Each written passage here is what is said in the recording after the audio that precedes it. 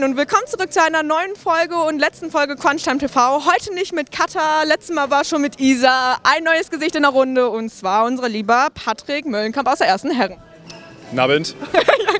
Äh, ja, heute stand das äh, Final Four, ähm, die Final Vorspieler an. Wie ihr seht, wir beide strahlen schon mit zwei Riesenpokale. wir konnten äh, sowohl im Frauen- als auch Herrenbereich beide Pokale für uns einfahren. Ähm, danke Isa. Ciao. Ähm, ja, im ersten Spiel gegen Emstetten. Emstetten hat eine sehr defensive und gute Abwehr bei uns gespielt. Wir haben ein bisschen gebraucht, aber konnten das eigentlich ganz gut über die Bühne schaukeln. Einmal kurz auf Kai Uwes Spickzettel schauen. Wir gewinnen 21 zu 15 gegen Emstetten. Ähm, Im Finale haben wir dann gegen Kursheit gespielt. Das war bei uns auf jeden Fall spannender.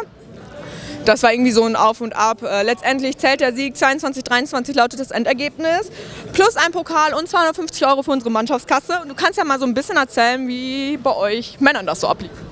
Ja, soll ich das festhalten oder hältst du das? Ja, ich, ich soll das festhalten. Ich soll das festhalten.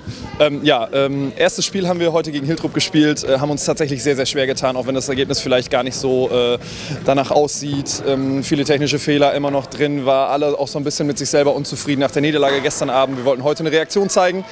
Das ist uns im ersten Spiel ja, durchs Ergebnis geglückt, spielerisch vielleicht nicht so sehr, aber ähm, das haben wir dann im zweiten Spiel im Finale wieder wettgemacht ähm, gegen Ochtrup, wo wir tatsächlich sehr konstant das Ganze durchgezogen haben und ähm, ja, somit äh, für die Mannschaftsfahrt nach Willing, äh, glaube ich, ganz gut vorgesorgt haben und äh, den Pott nach Hause geholt haben. Sehr gut.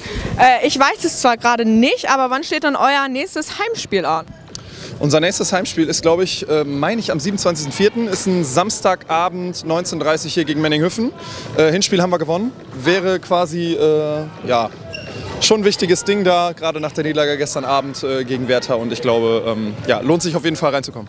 Ja, sehr gut. 27.04. habt ihr ja schon mal Vorlaufzeit. Alle eintragen. 19.30 hier in der Halle Ost.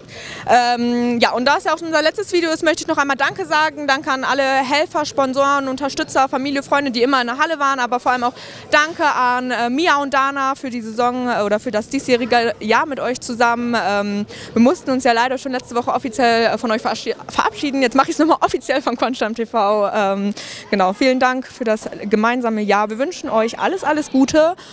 Und dann würde ich sagen, gibt es jetzt erstmal eine längere Pause. Ihr werdet äh, uns länger nicht mehr sehen, äh, denn wir gehen in die, wie nennt man das nochmal? Sommerpause. In die Sommerpause, genau, bevor die, Wird, ja, es ist, bevor die Vorbereitung wieder startet und im September dann offiziell unsere Saison ähm, ja, wieder losgeht. Sehr gut. Dann würde ich sagen, ciao, ciao. Tschüssi.